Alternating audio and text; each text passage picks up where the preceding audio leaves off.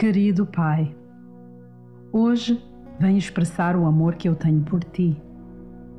Apesar de teres sido um pai fisicamente ausente, sempre estiveste presente em todos os momentos.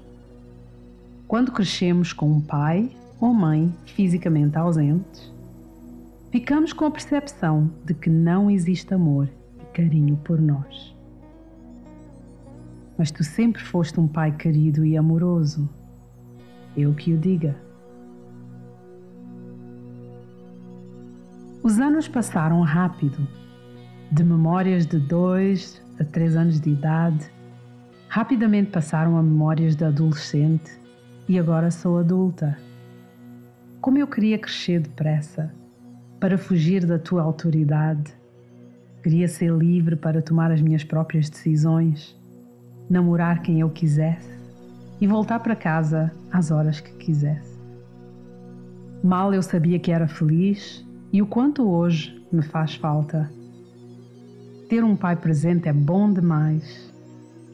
Costuma-se dizer que ser pai ou mãe é uma benção, mas ser filho ou filha também o é.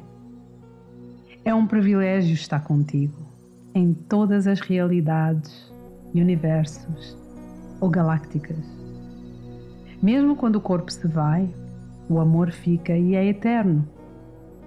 Até a próxima vida, se Deus quiser. Talvez dessa vez serás meu filho ou filha, quem sabe. Obrigada por me teres dado a vida, por me trazeres a este mundo para contribuir da melhor maneira possível.